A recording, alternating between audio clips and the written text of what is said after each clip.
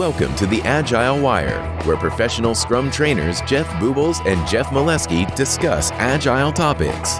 Now, here are your hosts, Jeff Bubolz and Jeff Molesky.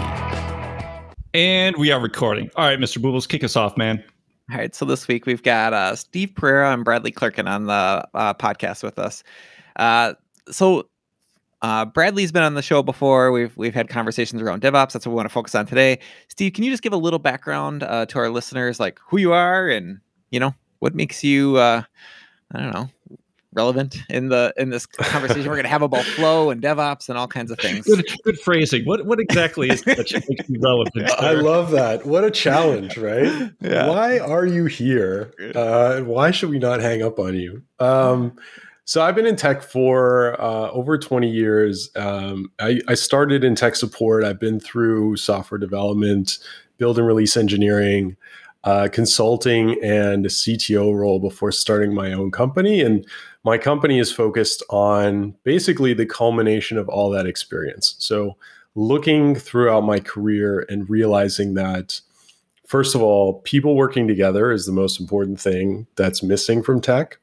And tools and models that help people work together is the other thing that's missing from tech.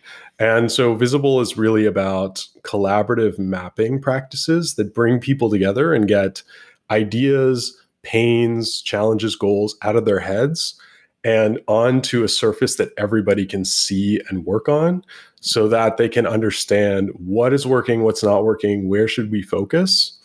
And that I think is uh, relevant to agile software engineering practices, DevOps, business, um, marketing, sales, success, anywhere that we want to look, those practices are going to get more and more critical. Um, and I think they've been underrated and underserved for a very long time.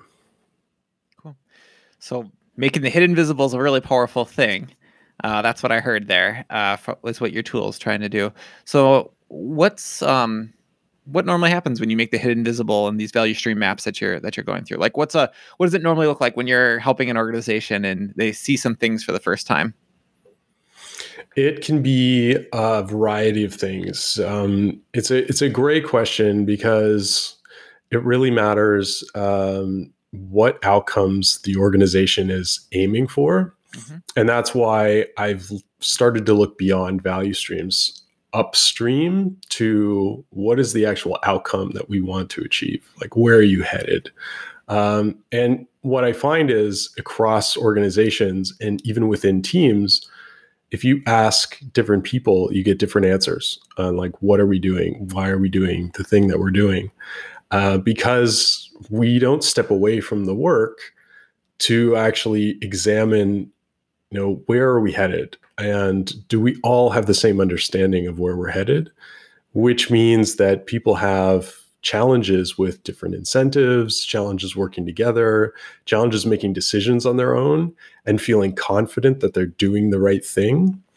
So the mapping really gives the team an, an, opportunity to kind of step away from their work come together and either establish clarity or reestablish clarity, right? They might feel like they know that they've they have everything figured out, but usually what happens is they come together and map and we feel we realize that there's a lot of gaps between what people think and what's actually happening.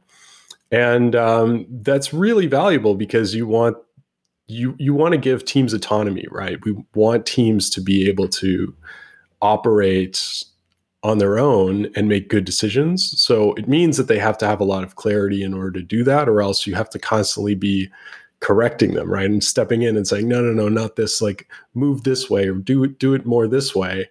And with clarity of outcome, you can sort of step away and say, they're they're heading in the right direction. I know that they're all on the same page. We can focus elsewhere. And I think that's really powerful. Quick break. We know you can't support all shows, but when you do support a show, think of the Agile Wire when you subscribe and share. What is that?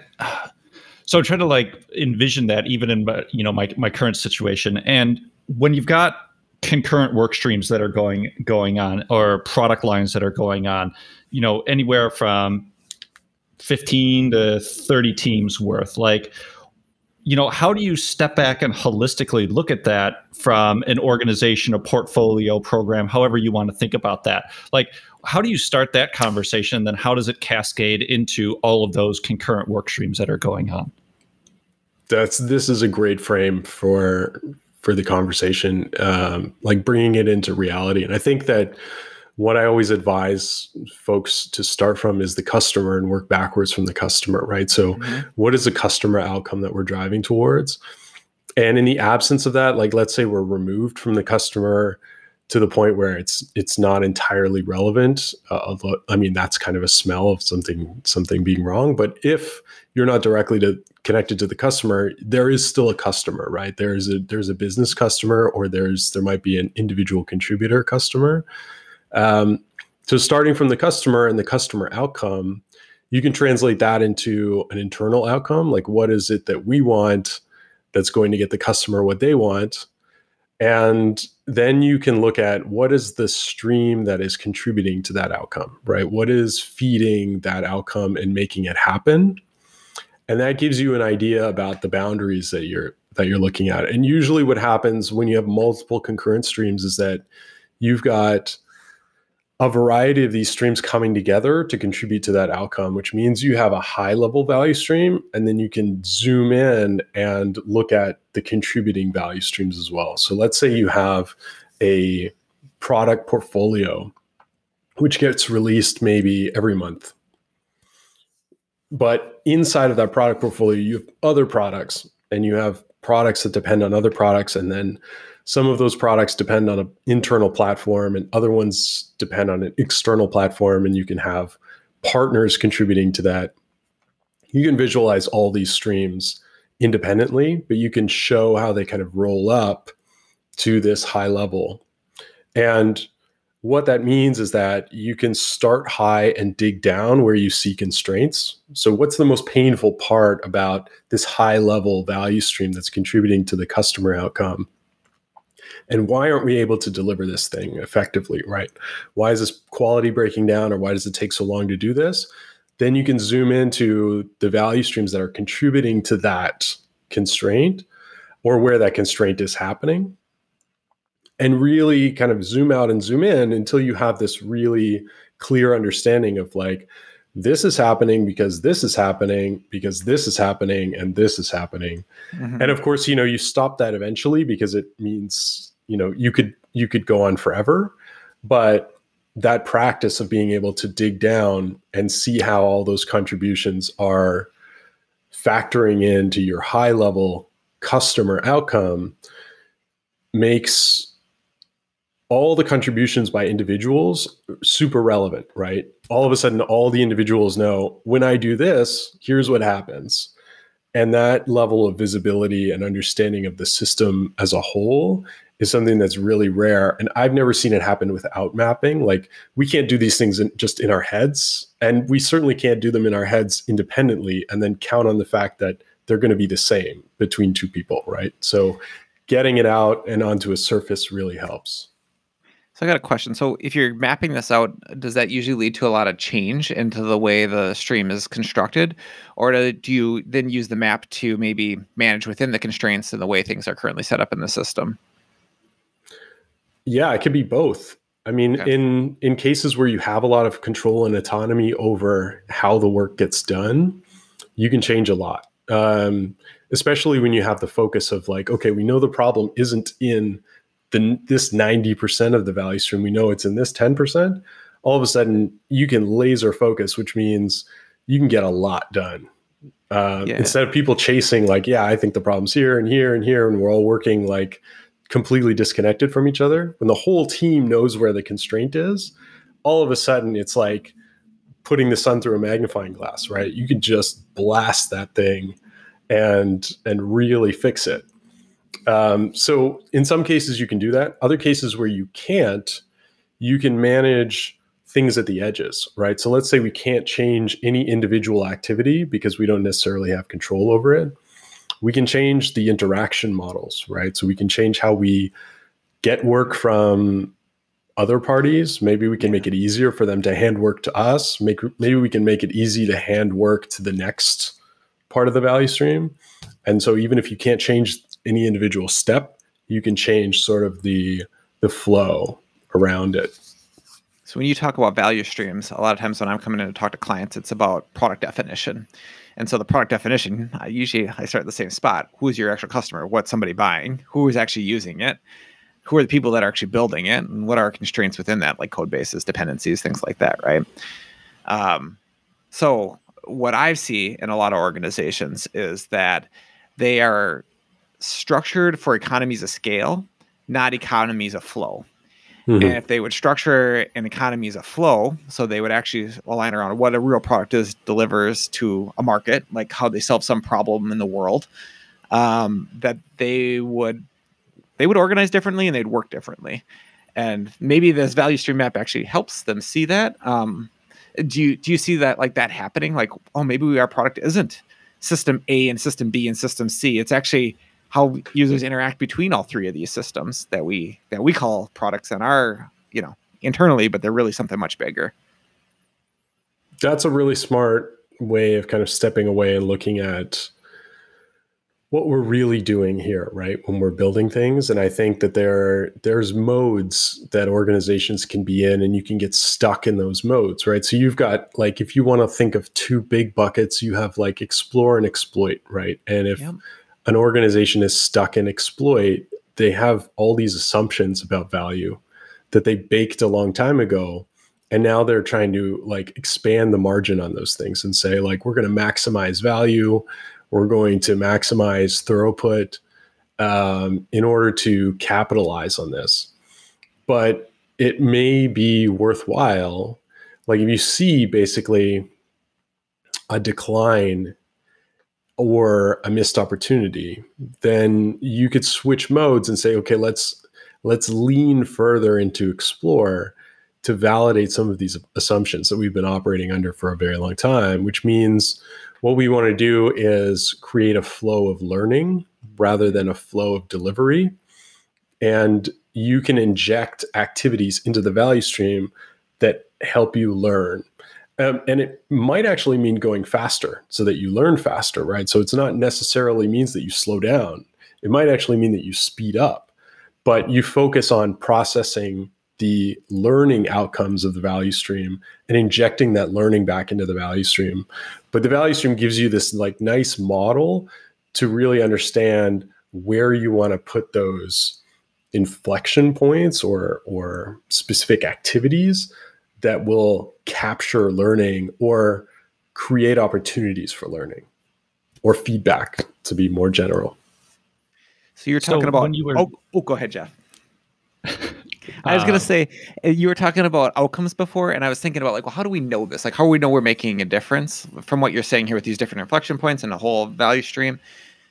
And um, I don't know. I've been saying this for a long time, and I would like to get your opinion on it. Like, I think if you want to have one measure for measuring that, it's the number of experiments that you're running or have run um, over a given period of time. Like, we should be tracking that. Some people might call that innovation rate. Some people might call it something else, but it's really like we have an idea how fast can we get that idea into an experiment to validate our greatest assumption that we have with that? If we can run many of those, if we can do many of those things and we can do them pretty quickly, then we have a great opportunity for learning and figuring out stuff. Because I don't know if I've learned anything in product management as we've done stuff and built products, it's like you're wrong and you need to figure out how wrong you are as fast as possible. Um, and so that's that's probably the greatest measure is just run a bunch of experiments and figure out where to where to go next. You know. I don't know. What are your thoughts? I, I totally agree with that. I think that uh, experiments are super underrated because they're hard and it's much easier to operate under an assumption that we know what is valuable, right? That means that we can focus on exploit it means that we can put our heads down and get to work. And we can work more in isolation, which is more comfortable to us most of the time, especially as technical folks, right?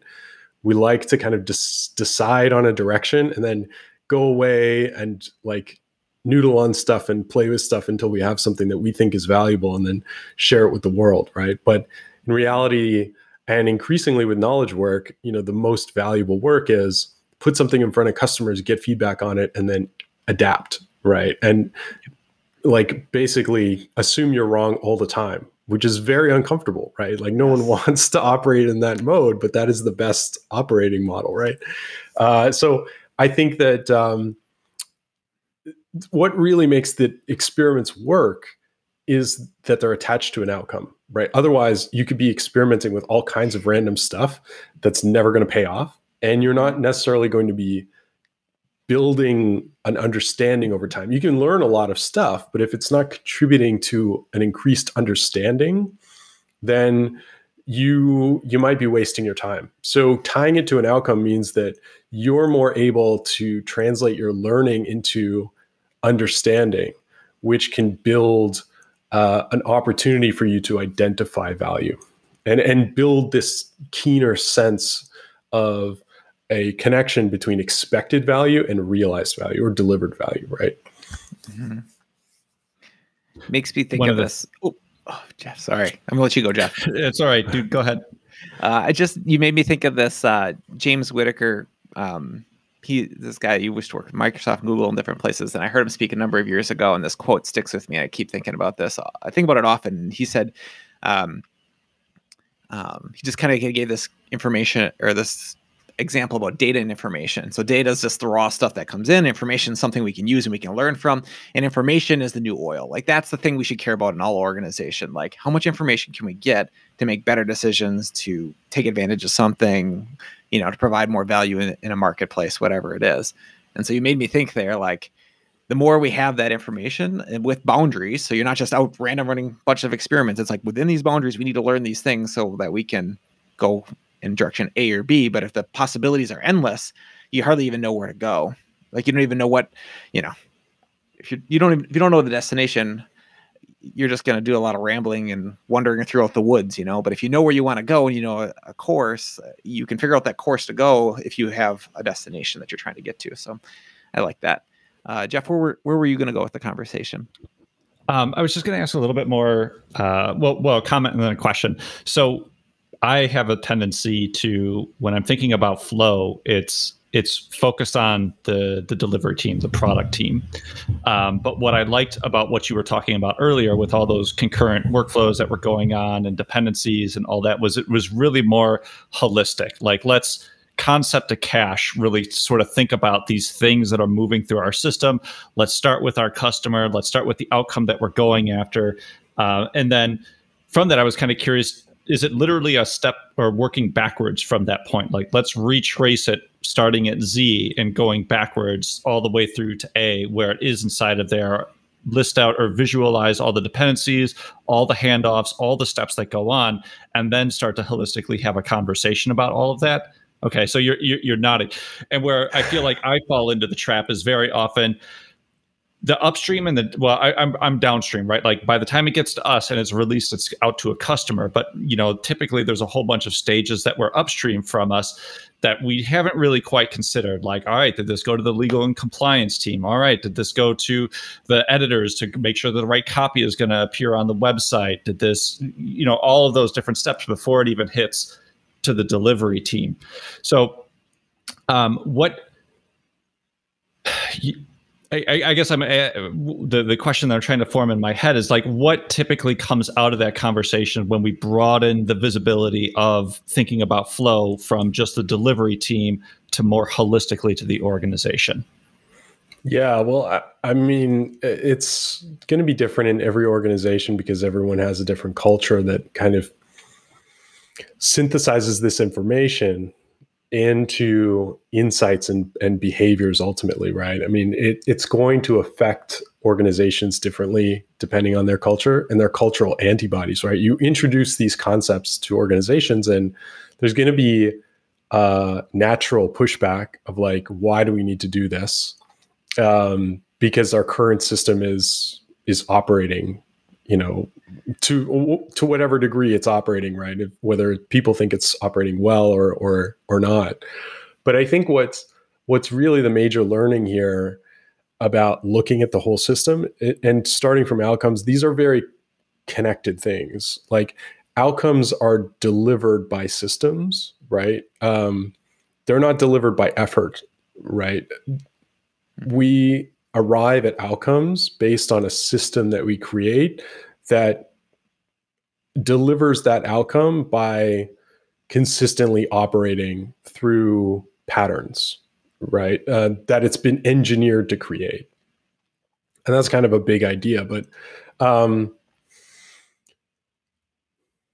increasingly like uh, more common in the industry we're starting to actually like step away from individual contributions and think in terms of teams and think in terms of organizations and models and capabilities and systems.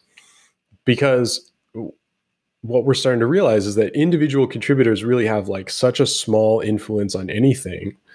And that manifests itself in so many different ways that like work against organizations right? Thinking about individuals like assigning blame to any person for like a system failure is just a total waste of time. It just destroys morale and culture of your organization mm-hmm. right?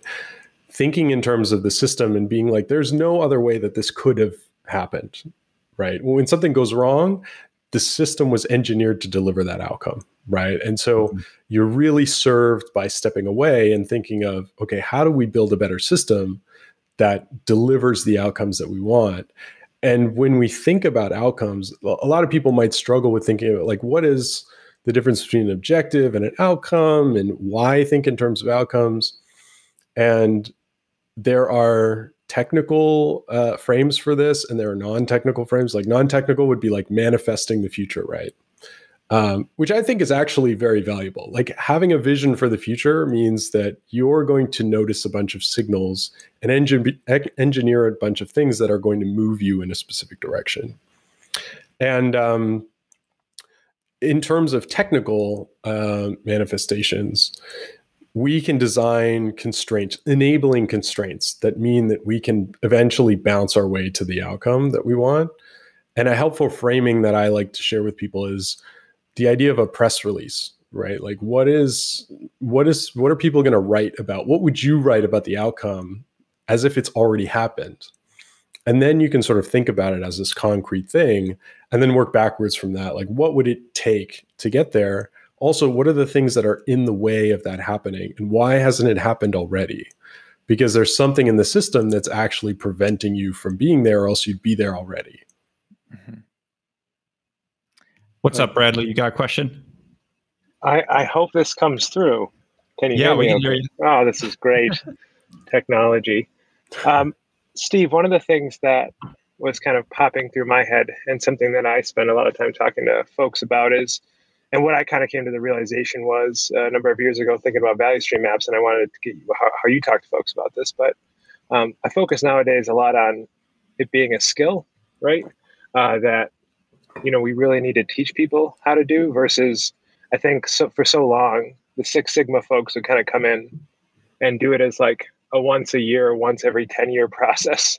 Um, so I guess what's your take on you know it being a skill set that we really need to get into everyone's hands and then like kind of how do you approach that uh, if, if that is the case i totally agree with that i think that this needs to be uh, beyond a skill like i liked thinking in terms of capabilities because capabilities are kind of made up of a number of different skills right? And w- when we think of value stream mapping the technical skill of mapping is is i find it's actually less valuable than this skill of facilitation right? The, the ability and that's the thing that i've learned the most over the past two years is that i know nothing about getting people to open up and feel comfortable and safe and like share their ideas and then steer a conversation in a very productive way to instill an understanding of like what value streams are and why they're relevant to people and then take those individual perspectives and merge them together. There's a lot of things that happen beyond the the technical construction of a value stream map that are i think even more valuable. So yes we can have a technical skill about how do you create the map. You can have a technical skill about how do you measure accurately or accurately enough because that's also a big challenge. But i think that these like human aspects of facilitation and bringing people together and getting the right information out of people's heads uh, and then representing that in a, in a useful way right? It doesn't necessarily have to be super accurate as long as it's useful. Uh, that is that is very valuable, and that is a missing capability uh, within organizations. There is also another piece where you can't analyze a system from inside the system as effectively as you can from outside the system some of the time or maybe even most of the time. I might go that far right? As in like you can't see the water that you're swimming in. If you're in the trenches working uh, in the daily work you're kind of fixated on what is right in front of you right? You're worried about the thing that needs to be delivered next week. You can't necessarily afford to step away and think of like where is this going right? And and and how are we doing from an objective a more objective perspective? So even in situations where i think it's super valuable to have this internal capability because it develops an understanding and an appreciation but there's still a ton of value in having someone come in from outside especially because of cross pollination like they're going to bring in insights and understanding from working with dozens of other teams and seeing the same patterns and and knowing what to look for and knowing where to dig deeper. So I think the mapping every 10 years is insane. I want to see teams mapping every 3 to 6 months, which means it has to be an internal capability because no one wants to bring me in every 3 to 6 months. Um, but I think that it, there has to be a mix, right? I would I I would advise bringing someone in periodically, but then having this regular internal capability of taking that, you know, we've mapped once, our next iteration is going to be less dramatic, uh, perhaps, but because we have the capability and we're building off of a known state, um, we're able to carry that on and repeat that process uh, on a more continuous basis. Hey, um, quick follow up. How so when you do come in and help a team and kind of or a group or you know number of teams, you know one of the things that I see is that there is, uh, and it might just be a defense mechanism. You know, I'm also external a lot of the time, uh, but what I see is that there is this large amount of confidence portrayed about the knowledge of the existing system. And then when you actually get into mapping like so you so let's say you come in and run a facilitated session get them to help you map. Whatever map you end up coming out of that facilitated session with if you then spend let's say two months observing right? Those two maps like have almost nothing in common. And like like what was perceived to be the system versus what is the system are like two different things. And it's always my thought and I, I haven't spent a lot of time going deeper on this, but like that that's actually usually the biggest defense mechanism that I see, like probably driving all or the, the biggest reason for the defense mechanisms being thrown up is because people really don't know their system, right? And and their theoretical idea of what it is is extremely inaccurate. And, and I was interested to see like if you see the same thing, like are you seeing that like what like the manager or what the leader thinks the system is versus like what it actually is couldn't be farther apart.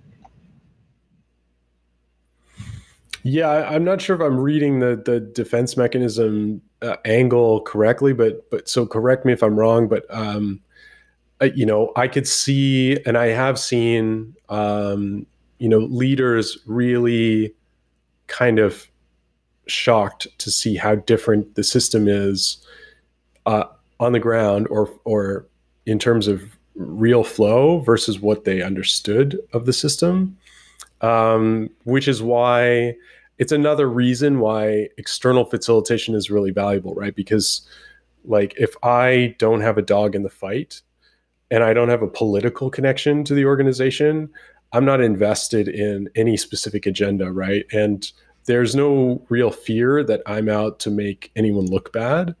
Uh, and I'm very, very sensitive to that too, because we're asking people to open up and we're asking people to take an honest look at what is really happening, uh, which takes a little bit of vulnerability, right? So I, I think it's really important to emphasize the fact that nothing could have happened in a different way, right? There's no way that we could have had a different outcome. The system is always going to just operate as well as it can.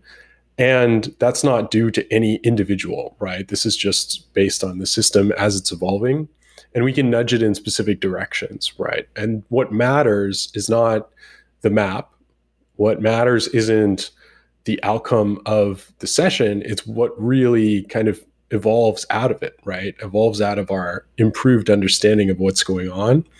And so the fact that our understanding doesn't map up with everybody else's, or it doesn't match the map, or the map ceases to be useful in a week is irrelevant, right? What really matters is this continuous improvement and a better understanding of what we're working with, which is a complex adaptive system, right? So we want to move people towards that, this comfort with a level of uncertainty because we know that even though we're uncertain and this is maybe a little bit less comfortable than we were, we're in a better state because we understand how to understand things more and we're operating under fewer assumptions, um, which should provide comfort to people after this internal or this initial like discomfort with like, nothing that I thought was real is real, right? mm-hmm. Once you get past that, and that's why having a facilitator kind of hold your hand through it and say this is all fine. This is part of it. This is all like part of the process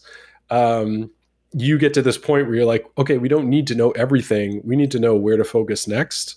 And a good enough uh, view of the system that we can make those decisions with confidence and then experiment. Like going back to the experimenting we're all just experimenting all the time and we're not holding to our assumptions for any extended period yeah, I, I think of it as uh, value stream mapping is the practice. The behavior that's happening is systems thinking, like your systems thinking as a group, and that's the doing that with a group of people that are all going to work together to deliver value to somebody unlocks this like double loop learning of continuous improvement like you were talking about where we're not just focusing on what makes me jeff more uh, effective we're focusing on now what makes the whole entire system more effective? What what's going to help us deliver value faster better? And what assumptions do i have that maybe aren't true or what can i learn about the way other people are you know are working inside of the system?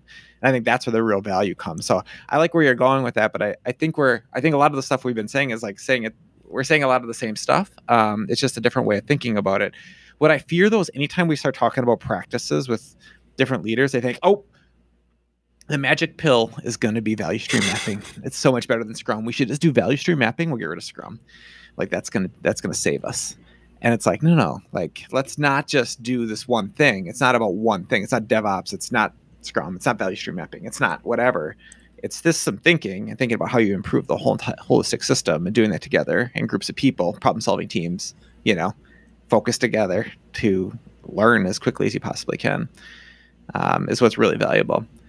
I don't know. What are your thoughts on that? Like that progression? Does that does that jive with, oh, the way you talk about it? A hundred percent. You know, like flow engineering for me and the way that I've kind of tried to communicate this is that it's a collection of practices that I found work really well um, and complement each other. And they sort of progress through this flow of starting with outcomes and then looking at the stream and then looking outside and inside the stream kind of naturally progresses through like high uncertainty to high certainty about what to do next. But inside of that, there's you can interchange any of the individual practices like you could swap outcome mapping for impact mapping if that's something that mm-hmm. you you're already comfortable with in your organization and you're probably going to get all the same benefits from um, you could use just mind mapping if you're really good at that anything that you really want to do to kind of like step away and then think about outcomes that that's going to work well for you right? You could even start from something like okrs or v2 mom. It really doesn't matter right? The what matters is the outcome of that activity. And then similarly in value stream mapping you could use event storming if you wanted or you could use um, information and process flow mapping. You could use swim lanes if you wanted to wh- whatever you're going to get the desired outcome from. And there's a million different ways to do dependency mapping. There's a million different ways of looking at capabilities. Like nobody has to take my word for uh, how these things should be done or could be done. What matters is that we do them. And flow engineering is really uh, a minimal approach because I find I just want people to do something. So what I'm presenting with flow engineering is like what I've find as a lazy person, this is the simplest way to do these things. And if you're not doing these things, like uh, you know, is it like could it be helping you with the challenges that you have right now? And could it be worth exploring something like this with a few hours of time, right? I mean, it's not a big investment to do this stuff. And you don't have to go through the entire process, right? Even just taking some time to map outcomes with your team, it just starts really great conversations. And the idea that uh, sharing with your team, we don't know anything. I don't know anything for for certain, and I'm open to learning things. That's a very powerful message to send, and uh, sharing with your team that I'm invested in co-creating a future with you and I want your feedback, your perspective to do that. I'm not going to send anything down to be executed.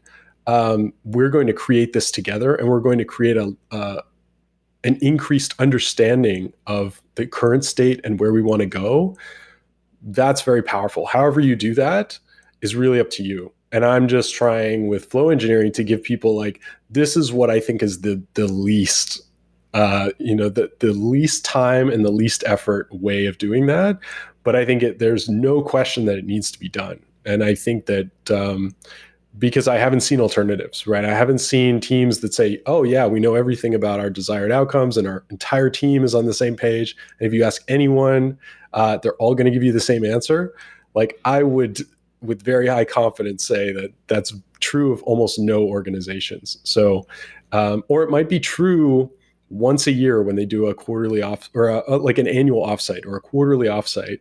And then for the rest of the time, it's not true. And so, how can we, build that understanding and then keep it um, relevant to people, keep it close to people so that they can come back to it and continuously refine that understanding. So let's say you got a value stream map. You understand your system. You've built this together with uh, your team, the teams that that are part of your value stream, and you have the shared understanding. What's the signal that you look for the most often to say, hey, how do we engineer more flow out of our system? Like we we just want we want lower cycle times. We want to get a little bit more throughput, but really we just want to be more responsive. Like how can we get more flow through? Uh, what do you look for? Like what's that signal that you're like, we should look at this, and if we can affect this, it will, you know, it'll help us to get that flow. Yeah, well, I, that, that's what I think is really critical about starting from outcomes, right? Because it really, uh, I would say, it's it's never a good idea to just focus on going faster for the sake of going faster because it, what you could be really missing is quality or you could be building the wrong thing extremely quickly and effectively right so depending on what your outcome is if it's customer satisfaction if it's employee satisfaction if it's uh, you know, we're heading towards an IPO or we just acquired a company and we need to onboard them and decide who has the better practices and how we're going to sell our way of working to them. There's a million different ways that these outcomes can surface and they really dictate everything about what you should do, right? And it, they dictate, um, first of all, what your obstacles are because you, your obstacles depending on your outcome your obstacles like if if you're looking to the right and you see a bunch of obstacles but you should be looking to the left those obstacles don't matter at all to you right so your outcome is everything and then what happens is you decide on your measurements right? So what are the metrics that are going to move you towards your outcome?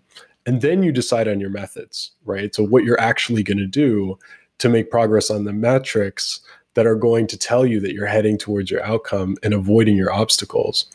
And that's the that's what really goes into outcome mapping the way that i've laid it out is mm-hmm. is all those things flowing together. And that to me is everything. Like it without that clarity on the outcome you're really operating under like a ton of assumptions and uh, you could be performing extremely well and just running in the wrong direction Hmm. So what I see when I do something similar is that uh, the work time on uh, solving a problem for a customer um, goes through multiple different teams, and the and the work time is much lower than the actual um, time it sits in some queue waiting to be done.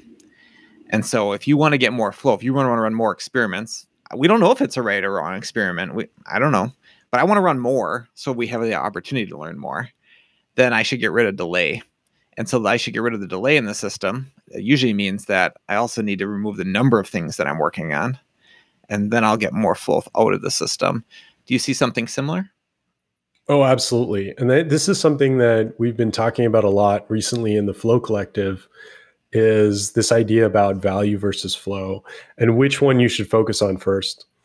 Um, because you could either say that until we figure out this is, is this a running topic it's a running it's a running topic and i awesome. we have different opinions and i think i've won jeff over recently so oh beautiful beautiful well i i hope to either add to the controversy or or reinforce somebody's position but maybe it'd be fun to even just you know reopen the patient and uh, and go back at this. But so my argument with this, and this differs inside of the Flow Collective, we have different opinions, and we're working through it, which is part of what I love about this community. Is from my perspective, and this shifted recently, very recently.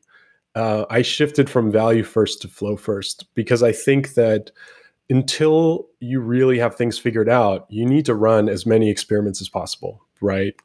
And value is what comes out of those experiments, right? So your ability to quickly execute on even, you know, from random guesses all the way to random guesses based on a rough hypothesis to like laser focused, okay, we need to make a decision between A and B. That is what you need to optimize on before you you discover value.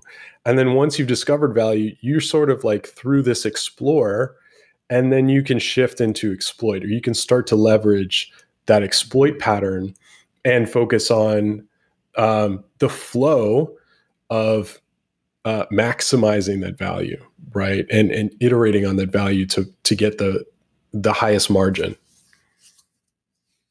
Yeah. So okay, cool. I'm going to jump in here because this is this has been a fun topic that keeps coming up.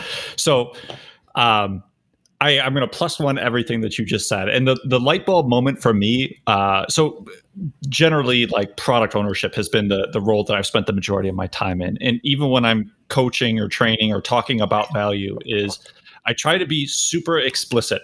Value is assumed until it's in the hands of your customer, right? And if you just start with that assumption right there, like it should make sense to you to say, well, first we actually have to get something into the hands of our customer. Like we need to get good at that before we can get good at learning what is truly valuable or what's not really valuable. So starting with an outcome is fantastic, but even the outcome is assumed valuable, right? Like regardless of what the feature is, what your demographic is that you're going after, whatever that happens to break down, it is all assumed valuable until you can actually get something out there. So make sure you can get something out there, then start to optimize the other pieces that are inside of there. So I, I think I just repeated everything you said, but like that's that's the way I, I try to articulate it to really resonate with me. What do, what do you think of Bubolz? You're grinning. No, I was just we. I mean, this has been going on. We kind of keep coming back to this conversation. It's like is it customer value or is it frequent delivery? Which one's more value? Yes, bo- it's yes, right? You want both, mm-hmm. but then it's like yes, both. yes. Uh, but if you could only pick one, which one do you want? And it's like, well, if you get to frequent delivery, you'll get to the customer value and you'll figure out what the 10x, 100x thing of value is. But you're never going to have, you don't have a shot of ever figuring that out unless you can have a frequent delivery. So, um, and that comes right. down to flow. So like get there first, and then we'll figure out the rest. Like that's, and that's a hard thing because I I think you know I don't know I'm not sure where it's taught or if it's you know MBAs well, or it's other places where they're like, nope, you plan this, you do a schedule, and you get this thing, you know, and and that's not what works in the product in the product realm or complex realm where there's more unknowns and knowns. We're talking about business, IT, and people. There's lots of unknowns there, and you got to have frequent feedback loops. And if you don't have that, good luck, you know. I, I think this is recent too. I think this is flipped like in the past couple of decades, right? Which is where the challenge comes from because a lot of these MBA programs and a lot of our traditional understanding of this is basically like you define value, you do some focus groups, you figure out what value is, then you can basically market everybody towards like you could just force people to value the things that you value and that will make up the difference right? And your barrier to entry is going to be so high and you're going to have a moat around your product that's so deep that that'll be fine and you can like ship heinz ketchup for the rest of eternity right? In the mm-hmm. software world where the barrier to entry is so low and there's competition coming from everywhere and you can be revolutionized out of your business in a heartbeat that equation is completely flipped right there's no longer can you assume that you understand value at all because something's going to come up that just captures people's attention and you'll have a TikTok out of nowhere that just makes Instagram like Instagram is yesterday's news, right? Yeah. And Instagram is like this super young, innovative company, right?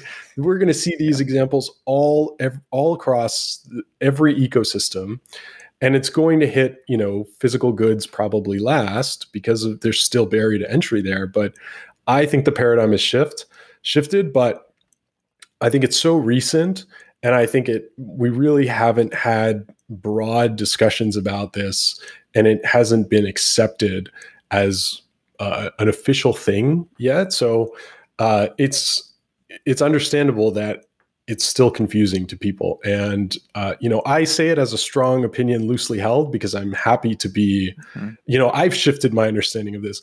I was going to call my book that I'm writing right now, "Clarity, Value, Flow." in that order, right? Like establish clarity, define value, and then get to flow, right? It's flipped now. In the past two weeks, it's completely flipped. and so that that's how quickly these things and I think about this all day, every day, right? That's mm-hmm. my job is to think about this. So if I'm flipping that dramatically, I understand why there's tons of confusion everywhere. Yep.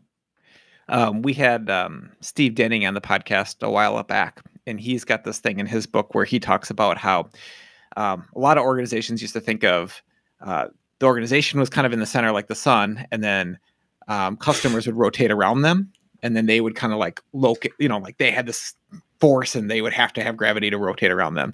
What the reality of the situation is, is really the customers are in the middle and a bunch of organizations are rotating around them. And so you got to figure a way to put the customer at center and figure out how to satisfy their needs and their wants that they don't even know they have at this point. And I think when you have that worldview switch in your head that you're like, yep, customers are in the middle and we're just one organization that satisfies their needs and they have lots of choices, it changes your outlook on how you work. And um, more, you just determine the only way to do it is get really good at flow and learning really fast because their minds are going to change, you know, as things around them change. Technology changes, the world's change, right? Like, there's just so much change happening even uh, earlier in that example you were using, Steve, uh, you know, we, we did the focus group, we got the research, and we're we're going to slam dunk this. Like I've, I've heard that, and I feel like that's one of the biggest lines of bullshit that we've been fed. Because it's like, okay, when I hear that, I'm like, okay, so in other words, you've never had the experience of making something exactly what the customer asked for, and then them deciding not to buy it from you. Like you've never had that experience, and of course you've had that experience, right? Mm-hmm. So like and I'm not saying like you shouldn't do any of those things. Absolutely, like building should be the last thing you decide to do uh, as you're, you know, uh, what, is it? Validating your truth curve, right? Like making sure that you're on the right path, um, eliminating your risks, validating you're building the right thing, et cetera. But building should be the last step inside of there. Um, but I just feel like it, it's it's such a load of BS where uh, we, we feel like all we have to do is build it and they will come. And that's kind of going back to Jeff, what you were saying, that customer centricity that uh, Ahmed was talking about not too mm-hmm. long ago. Like all, all, those those same concepts and ideas is just super value focused from the perspective of your customer and how quickly can we realize how wrong we really are. To Jeff, what you were saying earlier. So where does DevOps come into all this shit? Like we've been talking for like 45 minutes now and we haven't even said anything about DevOps. So Steve, like where where does that fit into the overall equation? Well, these days I don't talk about DevOps very often because it's this slice of the value stream, right? And and it's kind of a solved problem. It also suffers from uh like this confusion, right? Around around the term. People think it's different things, which means to me like it no longer holds a lot of value as a term. If if I say a word to someone and it means dramatically different things to two different people, I want to use a different word, right? Because otherwise, we're not talking about the same thing. And what is, you know, what is language for at the end of the mm-hmm. day? So I've been frustrated with DevOps for quite a while, even though, you know, I run a meetup, I run a conference. I'm huge in the DevOps community. Um, not as a huge fan. I won't say that I'm a huge influencer in the DevOps community, but um, I think that everything changed when I zoomed out to the value stream and saw DevOps as a useful pattern to represent collaboration and the handoffs between independent groups in an organization or even independent roles. Also, uh, understanding the fact that two different groups or individuals can have separate incentives that work against each other, right? So, the importance of focusing on outcomes that are more shared values and incentives and zooming out from my specific individual concern to what's best for the customer, what's best for the organization, what's best for the team. Those are the things that I carry from DevOps um, that I think we've learned in the technical community.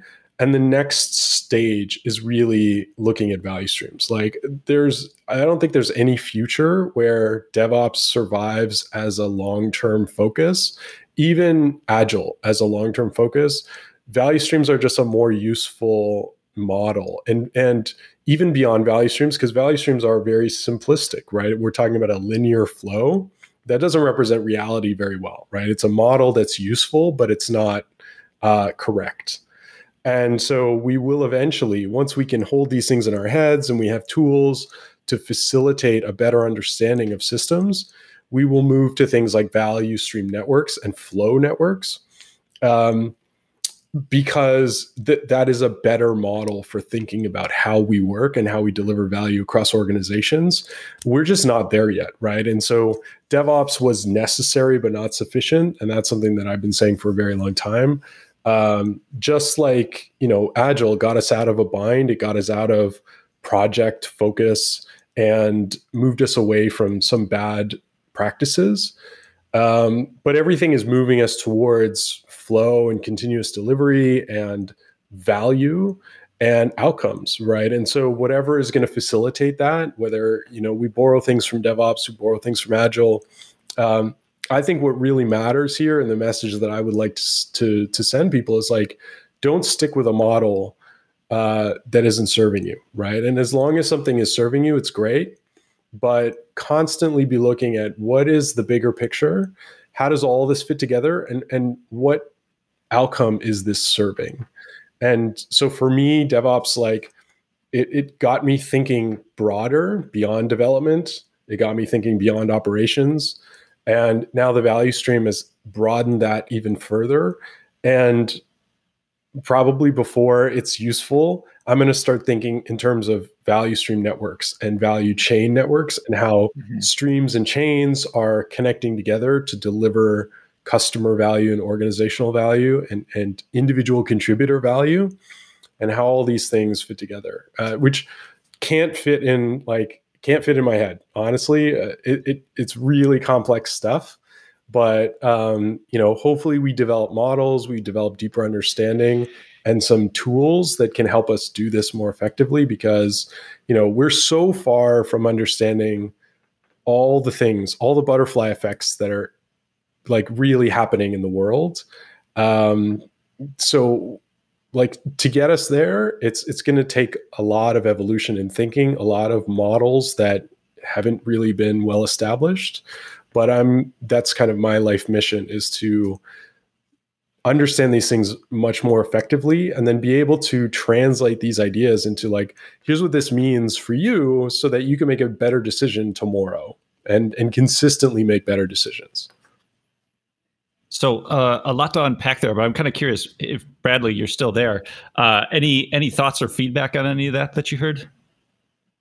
Uh, it's still here. Uh, yeah, I guess you know it's it has been kind of always the challenge with DevOps, right? That there's like three billion definitions of it, um, and a lot of people will articulate it a lot of different ways. You know, I think ultimately, what really just matters is that, and I think at the core of what you were saying, Steve, is that our current systems suck. They're really bad at doing what what we're talking about, and like we need to reimagine it all, but we need to do it in a systematic way.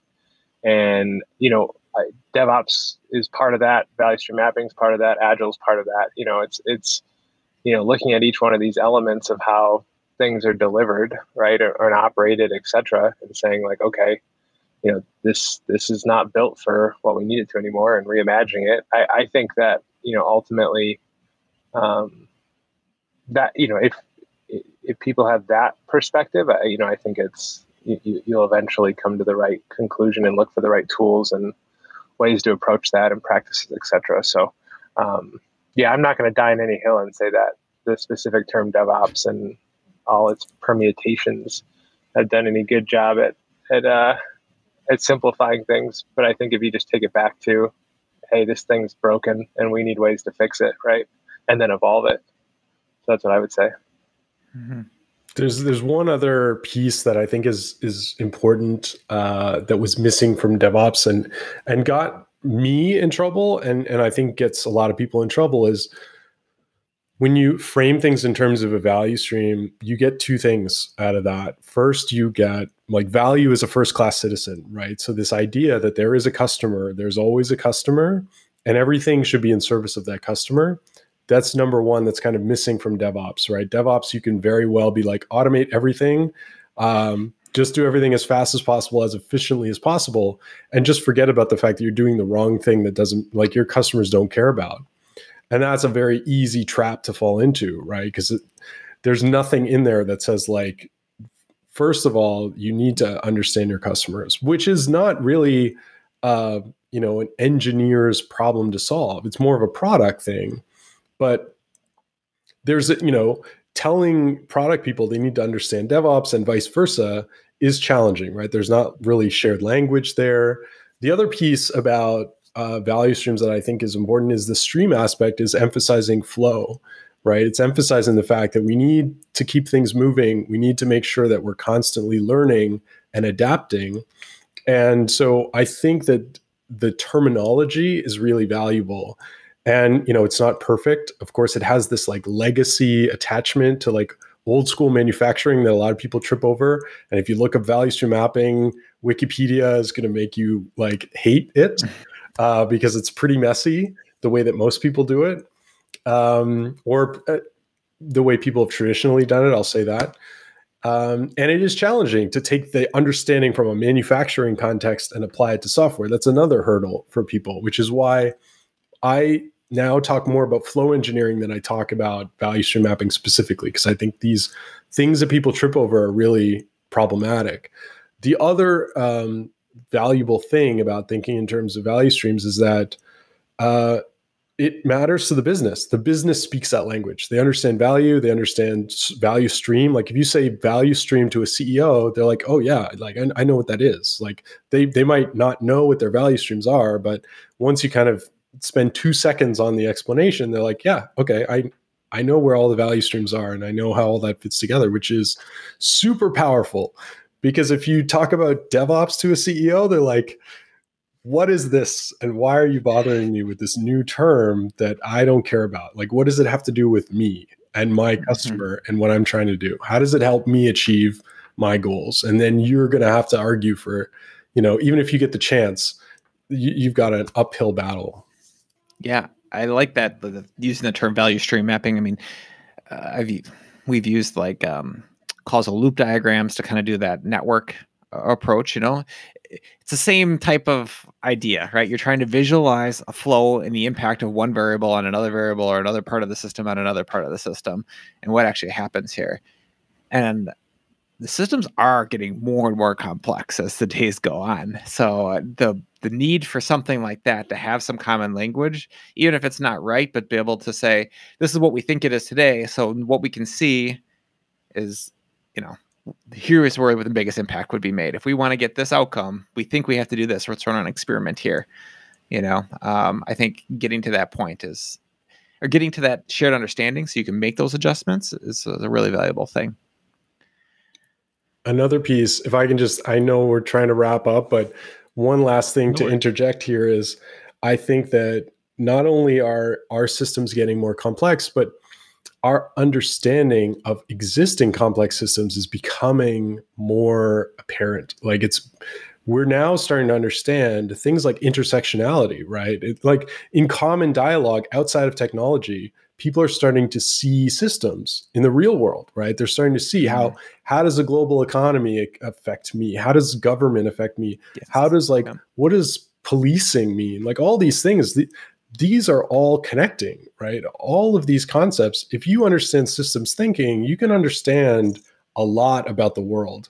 And if you understand how individual contributions and effects contribute to uh, outcomes and results, then all of a sudden the world just makes a lot more sense to you. And you can start to think about okay, well, nothing's as simple as I thought it was, but I'm actually okay with that level of complexity right? I'd rather see the real world and and i don't know if everyone would rather see like how complex things really are but to me i'd rather be thinking about how things are um, because that is the first step from my perspective to being empowered to kind of improve things and address things and move in the right direction. So the first part about it to me is about having useful models that um, represent reality more um, correctly or or usefully i'll say. And you know I, I will say that like investing in understanding this has has helped me have better conversations about everything like just across the board right? And it's not that i of course everyone likes to hit everything with the same hammer but with something like systems thinking you you uh, you could do way worse than than using that model to try and understand any kind of complex adaptive system we should be teaching this in elementary schools and people should have more of the systems thinking there you go. Exactly. Um, just build that skill set up. Which right? one is that that you just held up? These yep. these two books. that one I'm Gold. With. Yeah, I was Yep, the fifth discipline and, and, thinking in systems. Thinking yep, in two systems, great yeah. systems thinking. Books. Two great books. I think I literally just finished thinking in systems a few weeks ago. Yep, Donella Meadows. Yeah, yeah. somebody had recommended that one. It's funny you bring that up because uh, I, I, I, don't know if I attribute it to him or I, I, know I heard it in his class, but Larman was saying, and you almost hit hit the nail on the head with the quote where it was all systems models uh, diagrams are wrong and some are useful. All uh, models all models are wrong and some are useful. Yeah. There, there, we go. That's exactly what was running through my head as you were as you were talking. Almost this entire show, it was more about the conversation and what are we trying to get out of this versus how accurate is it to is it to reality. Uh, the last thing I want to add on real quick is because we were just talking with another great PST in the community, Scott. We'll have an episode here. Well, it'll be released before this one, but that's where that whole diversity comes from, right? Like getting somebody else's input on this is only going to help enhance the conversation around what the system really is. So bringing those people in, like you were talking about, being an outsider, coming in, having a fresh set of eyes, but really, you know, making sure that not just the people that we're bringing to the conversation are diverse, but also that they're included in the conversation, that feel free to speak up in the conversation is just going to give you a better understanding of the system as a whole and why you're coming out, achieving the outputs or the outcomes that you actually are through your system.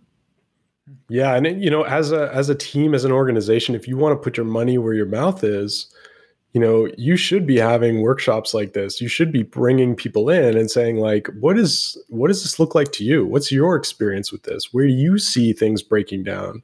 What's your understanding about our biggest constraint or challenge? Uh, what would you like to see? You know like what is your vision for this system? And so having these like models that pull those insights and ideas and feedback out of this diverse representation across the value stream is a way of saying that you know we really are committed to this and we see value in it. We're not just talking about it. This is something that is improving our organization directly. And so we don't just have to talk about these things and feel like we should do them. Um, it's actually driving positive improvement. Um, and i think that's really powerful because beyond that um, there, there's not a lot of things that people are using to put that into practice, right? To make it real. That's great. So as we're kind of wrapping up here, Steve, um, is there anything you want to plug or promote to our listeners? Um, Oh, I, am I'm, I'm allergic to plugs, but there's a free. So if anything is, if anything uh, is uh, interesting about this, and people are are looking for more detail or kind of how to put this into practice, uh, if they go to flow.visible.is, that's a landing page for an ebook that covers all of this from start to finish with with examples of like how this works in the real world um, in, in a way that they could do it themselves. They could read the book and they could do it themselves and they can get started. Um, so that's a, that's something I love to share. Uh, I'm also working on a seven day email course. So you could sign up for a mailing list and you're going to get like step by step every day. It's going to go through outcome mapping, value stream mapping, and these various mapping techniques, and then how to how to use them. Um, and that's coming up very soon. So if you download the book, you'll get added to the list and you'll get the course when it's released. And I'm going to commit to getting that out next week because I've been procrastinating too much. So if I put it out into the world, I will have no excuse and I'll and I'll get that done. Thank you for listening to the Agile Wire. We are consistently inspecting and adapting ourselves. We would appreciate feedback at feedback at theagilewire.com or on iTunes, Spotify, or Google Play Store. See you next time.